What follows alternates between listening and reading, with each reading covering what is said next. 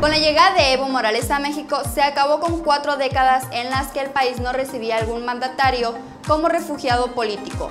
La última vez que un jefe de Estado pisó el país con esta intención fue en 1979, durante el gobierno de José López Portillo. En ese entonces...